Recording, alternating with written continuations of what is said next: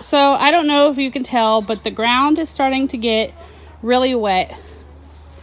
We live in the Pacific Northwest, about an hour south of Seattle.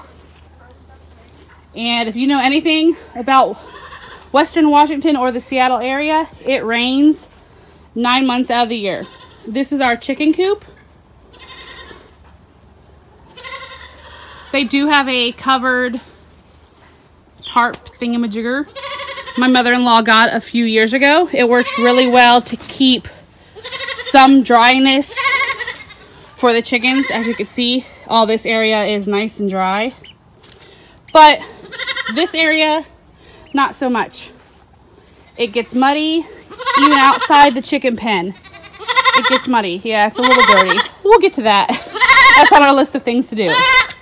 But into the goat pen, we have the same exact problem.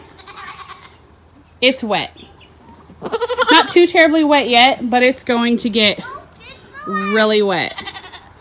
What are we going to do to fix this problem? What should we do to fix this problem? Well, that's a simple fix really for the wetness in the ground. We're just going to put more hay down. In all these areas, you can see where hay has previously been put. We're going to put some more hay down.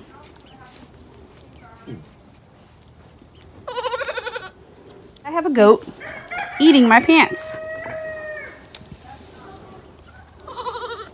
You guys cannot eat my pants.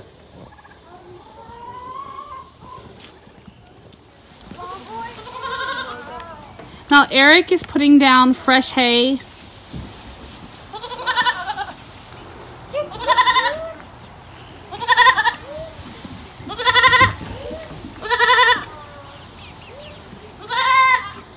spreading extra hay will hopefully keep things a little bit drying it right now. We're currently in the chicken pen. He's just scattering the hay around.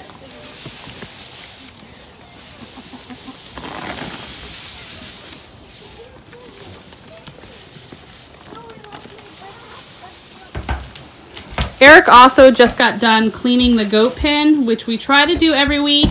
Sometimes it turns out to be every two weeks.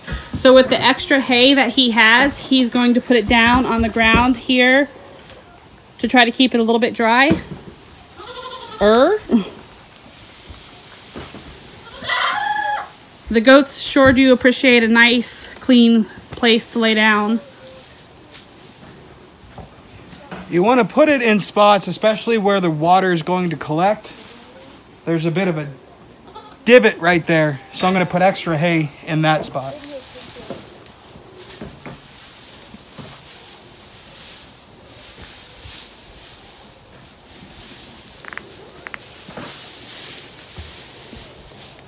Kind of falling in big chunks. We just pick it up and spread it around some more.